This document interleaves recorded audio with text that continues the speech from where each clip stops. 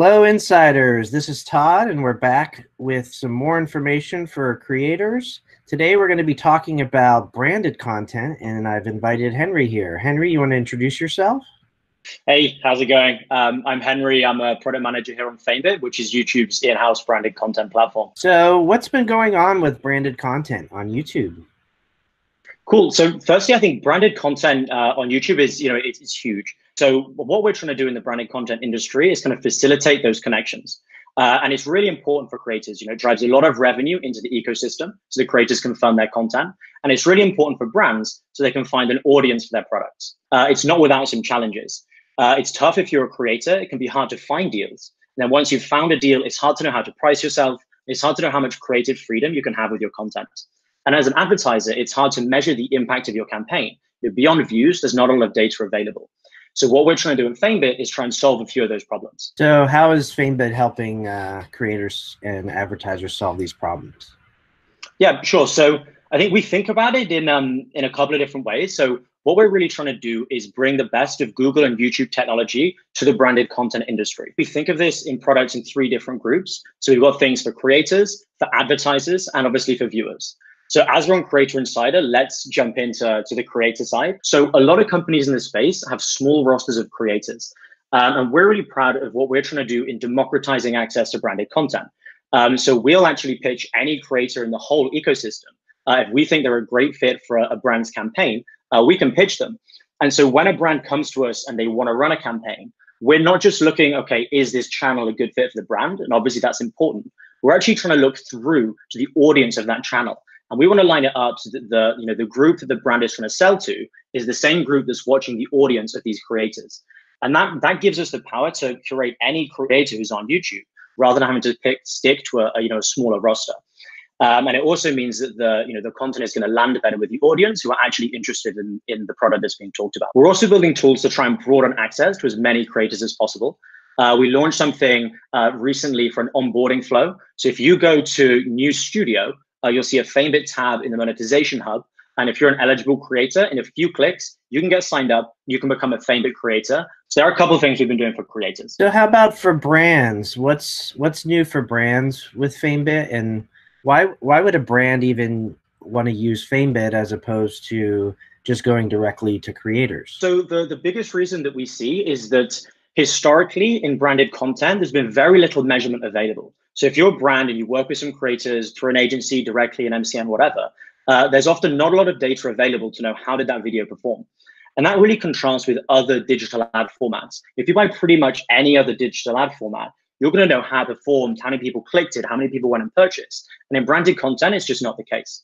So what we're doing at Famebit is trying to bring all of the ads measurement tools that Google and YouTube have made over the last 10, 15 years and apply them to branded content for the first time. Uh, and this lets brands measure the ROI of their campaigns so they know actually how did it impact the audience. And they, often these videos perform really well. And so it's very powerful to show brands this positive performance that they haven't been able to see before. And then it makes them want to come back, you know, spend more money in the ecosystem, drive more revenue to creators. So how we're specifically doing that is um, is a couple of tools. Um, one is what we call brand influence lift, which measures increased searches from people who watch the videos. Um, another uses the surveys that you often see across YouTube. Uh, and so that's, that's what we call influencer lift.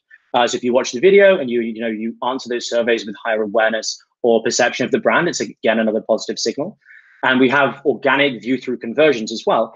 Uh, and so that lets you as an advertiser see how many people actually checked out your website or even bought your product and they're all really important so that you know you know what was the performance of this campaign and did it change people's behavior or not. So you mentioned that viewers um, were also a key aspect of branded content. So you could tell us a little bit about what viewers might notice about uh, what you're doing. I think the biggest thing is we're trying to build new formats so the viewing experience of this branded content is kind of uh, as powerful as it can be.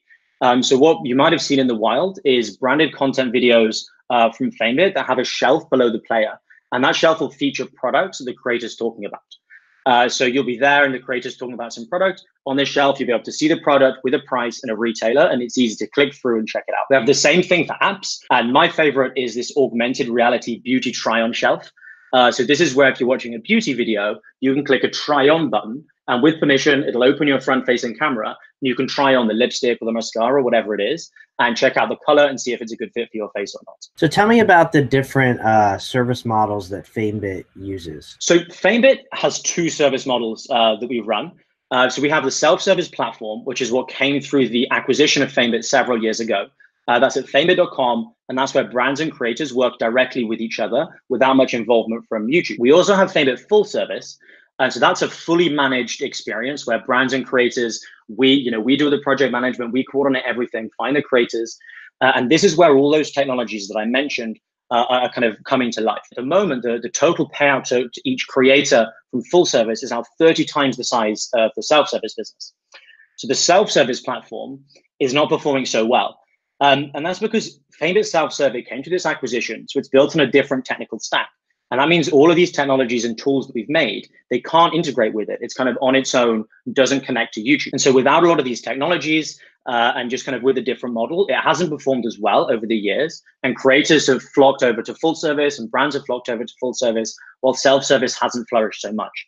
And at the moment, only 4% of FameBit payouts come from the self-service platform. So 96% of creator earnings come from full serve. And so for that reason, uh, this week, we're announcing that we're going to be deprecating the FameBit self-serve platform uh, and shutting it down so that we can focus our efforts on making full service uh, as successful as it can be. Can you tell us a little bit about like what what this means for creators? Yeah, of course. Um, so I think the first thing to mention is that we're going to be phasing the shutdown over several months so that we reduce any impact to ongoing campaigns. So how this is going to work um, is that now, as we announced just a couple of days ago, uh, we've already blocked new signups. So it's only existing users, both brands and creators, who can log in. So in a, a couple of weeks, uh, we're going to be blocking brands from posting new campaigns. And a couple of weeks after that, we're going to be blocking creators from submitting proposals to those campaigns. So at that point, it's only existing campaigns, only pre-hired creators. And then we're going to wait two months for all those campaigns to finish and close out.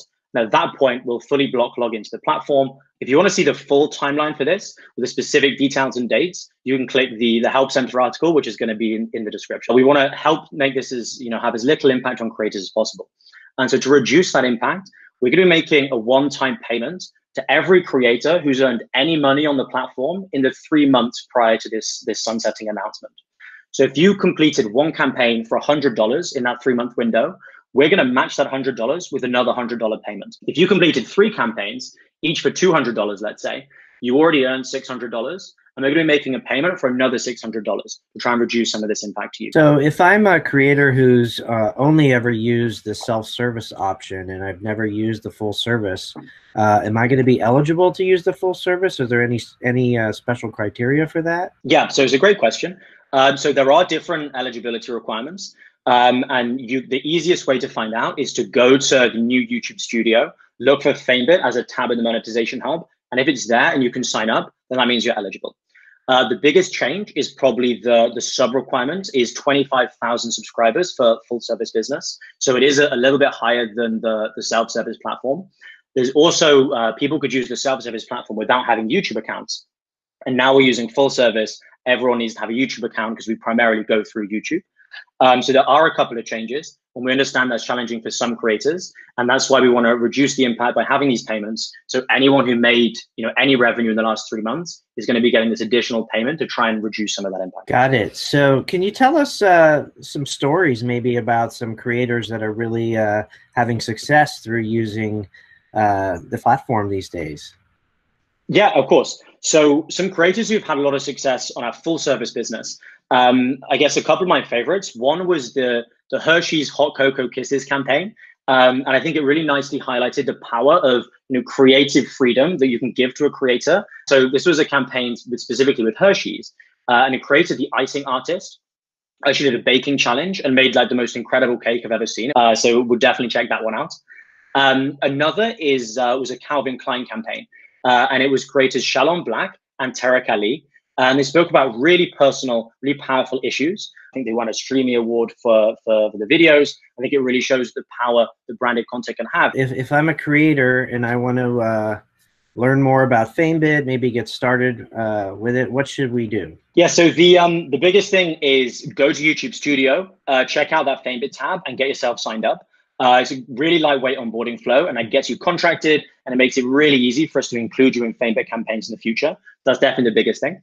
Um, I'd also suggest you check out uh, the FameBit Help Center article if you want to understand any more about the, the self-service platform uh, and you know, the, the sunsetting and what that means for you and your channel.